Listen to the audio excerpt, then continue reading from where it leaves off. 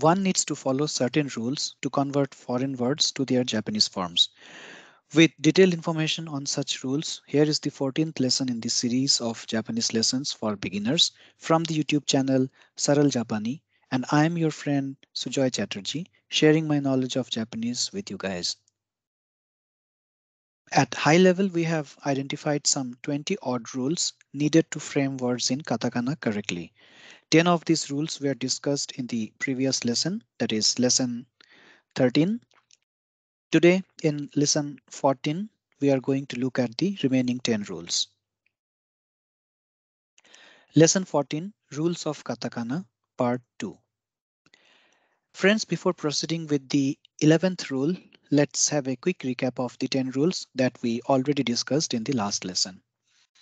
Rule number one, katakana word formation is more pronunciation based than spelling based. Rule number two, nearest vowel and nearest consonant is chosen in case of unavailability of exact sound or alphabet in the Japanese system. Rule number three, an extended vowel sound is represented using a long dash character called choon. Rule number four, new sounds in modern katakana, fa, fi, fe, fo are acceptable and can be used in place of ha, hi, he, ho. Rule number five, new sounds ti, tu, vi, ve, vo are acceptable. Rule number six, again three new sounds, che, she, and j are introduced in modern katakana. Rule number seven, if there is R after a vowel and there is no vowel after R, then R gets replaced with extended vowel sound of the consonant preceding it. V and BH sounds are replaced by B sounds. This is rule number eight. Rule number nine, if D and T are not followed by a vowel, then do and to are to be used in the Japanese version of the word. And rule number 10, if J sound or j sound is not followed by a vowel, then g is to be used. We have discussed in detail all these 10 rules in our last lesson. So if you haven't watched that video, then I would recommend you to watch that video first and then return back to this video in which we are going to discuss rule numbers 11 through 20. With this information, we now proceed with rule number 11, Treatment of ek sound. When a foreign word ends in an ek sound, then ki is used in katakana word to end that word. So what does this mean? Let's see some examples as in cake. So cake will be written as cake, keiki. So the syllables are k, then an extended vowel, and then ki. So when we pronounce the word, it sounds like keiki. Steak, it's suteki. Steak is suteki. Suteiki. So it becomes suteki. Rake, reiki. Milkshake, mirukuseki. Mirukuseki. And this is when we don't use she and we use say as per traditional language. Uh, and as we uh, we have seen in one of the rules in the last lesson that a new sound she has been introduced in modern katakana so that milkshake becomes miruku shake. So these both the forms are written here. So first one is the traditional form and the second one is the modern form. Then we proceed to rule number 12 when no vowel sound after all other consonants. So this means we have discussed about D, T, that is the sound, the sound, j sound, and uh, in rule number 11 we have say uh, we have checked we have seen ek sound. So other than these, if there is no vowel after a consonant other than these consonants, then what will happen? That we will see in this rule number 12. The remaining single consonant sounds when they do not have a vowel sound after them are generally replaced with the most relevant consonant followed by an u sound. So u vowel is used. Example, glass becomes gurasu. So the syllables are gurasu, gurasu, and when we pronounce it as a word, it becomes gurasu. Class, kurasu. Home, home. Club, kurub. Pub, pub. Gym, gym. So in each of these, you can see that the ending consonant ends with u sound because there is no consonant. Uh, sorry, if there is no vowel after the consonant. Guras, kuras, home, kurb, pub, gym.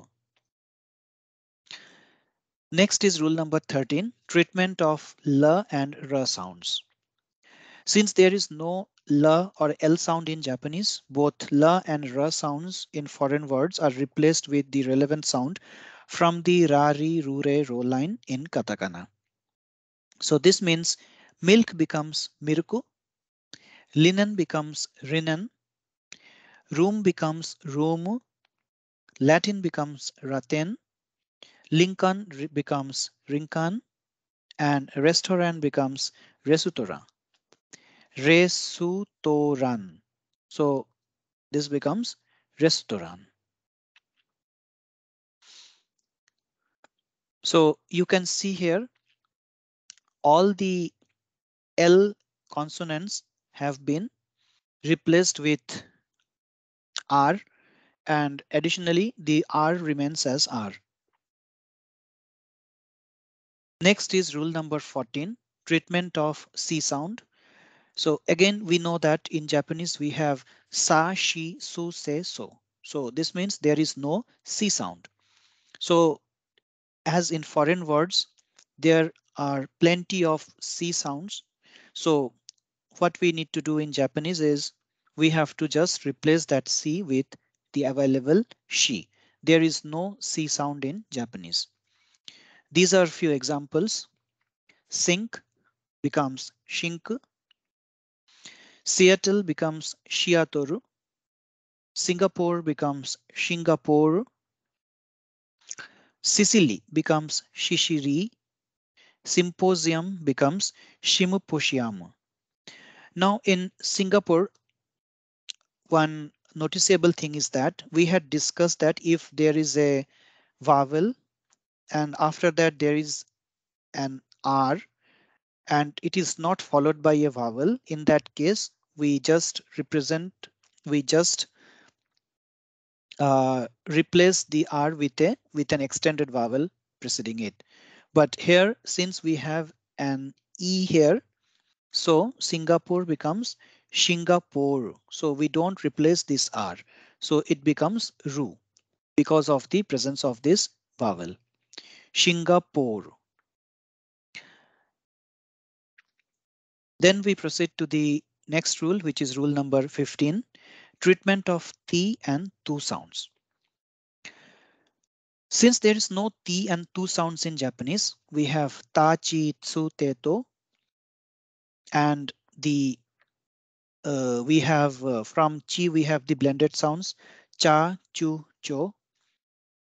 And also so these are replaced means the tu and ti sounds in the foreign words are replaced with chi and chu sounds in katakana. However, in rule number five, we have seen that in the modern katakana, new sounds ti and tu have been introduced. So we can use either of these two rules. Either we can use T2 or we can use the traditional chi and chu. So these are few examples tube. So in traditional, we can write tube. In modern, we can write tube. Tube. YouTube, YouTube, YouTube. Tintin. So Tintin will be written as Tantan or it may be written as Tintin. So generally Tintin is not uh, used because Tintin is a slang word that represents the male reproductory organ. So because of that, uh, in formal language, We don't use Tintin in Japanese, but we use Tantan. Tirupati. Tirupati is a famous pilgrimage place in India. So Tirupati becomes Chirupachi or we can write Tirupati because now in modern katakana we have the T sound. So either Chirupachi or Tirupati. Tubular becomes Chubura. In traditional or in modern we can have Tubula, Tubura, Tubura. So in this way we can handle the T and two sounds or the T and two sounds of foreign languages in Japanese. And we have to uh, note that there is no t sound in Japanese. All will be the soft one, t sounds. Rule number 16 is treatment of the soft th sound, that is th sound. Since there is no soft th sound in Japanese, a relevant sound from the sa, shi, su, se, so line of katakana is chosen as the closest sound. Examples, thank you becomes thank you, bath becomes bas, thyroid becomes thyroido, agatha becomes agasa, therapy becomes therapy, and theater becomes shietaru. So as you can see, all the th, these are the soft th sound, which is th sound. These are replaced with one of the sounds from the sa, shi, su, se, so line. This is sa, this is su, this is again sa, sa, se, and this is she. So theater becomes theater. Rule number 17 is the treatment of the hard th sound, which is which sounds like the. The hard th sound in foreign words is similar to the soft d sound. Hence, for the hard th sound, which is which gives a sound of the irrelevant sound from the za, ji, zu, ze, zo line of katakana is chosen. So one might wonder that why not the da, ji, zu, de, do line? That is because the da, ji, zu, de, do line is used or it is reserved for the hard d sound, that is the d sound of foreign words. Also in modern katakana, d and do have been introduced similar to T and tu. So we can use any of these. So some examples, weather becomes ueza, father becomes faza, and leather becomes reza. So this is the traditional way of writing the hard th sound in Japanese. Ueza, faza, and reza for weather, father, and leather. So this is the most common way of writing words that have this hard th sound. Next, we have rule number 18, treatment of vi, vu, ve, vo. We know that there is only wa sound in Japanese, hence the sounds vi, vu, ve, and vo in foreign words are replaced either with a u sound or with a blend of u and another vowel. Examples, waiter becomes ueta, wine becomes wine. So this is a, uh, an interesting word here. So you can see W is followed by I in English, but since it gives the sound of I in as in wine, so in Japanese word it becomes wine. So the wa wa consonant sound is applicable here and it has nothing to do with the V sound here. So as per rule number one, we have seen that the katakana words are based on the pronunciation and not on the actual spelling. So this is a very good example of that rule. So wine becomes wine, wine. Whiskey, uisuki, uisuki. Since there is EY, so this is an extended sound in English. So that's why whiskey becomes uisuki. Uisuki. Wool becomes uru. So here again the same thing. since there is double O, so this is this doesn't give a sound of wo, but it gives a sound of wu in English word wool. So in Japanese, we write it as uru, uru. West becomes uesuto, uesuto. Woman becomes uman, uman. So it's a long sound here, uman. So this is how we, woo, we, wo are handled. Rule number 19 is short vowel followed by consonant. Foreign words that have a short vowel followed by a consonant will have a double consonant in Japanese version of the word. What does it mean? For example, pet becomes petto. So here you can see the double consonant and you might remember we have discussed in both hiragana and katakana lessons that for double consonant we write a small tsu and then the full consonant following that uh, uh, for like full consonant for the consonant that needs to be doubled. So pet becomes petto, truck becomes torakku, bed becomes beddo, tip becomes chippu, suck becomes sakku, rocket becomes rocketto. Now there is an exception that when there is consonant na or n at the end, then we don't have to follow this rule and it will be a straightforward one as in pen it remains pen, train remains terrain, den remains then tin becomes chin or tin as per the modern katakana rule that we discussed and pin it remains pin. So except for this consonant n, for any other consonant, if that is preceded by a short vowel sound, then this double consonant version of the of that sound will take effect. Then we have rule number 20, treatment of the ya sound or y sound. The ya sound except when followed by a, u or o is usually replaced with e. With a, u and o it becomes ya, you and yo respectively and as applicable. So let's see some examples of this rule. Year, year will be written as ia. Ia.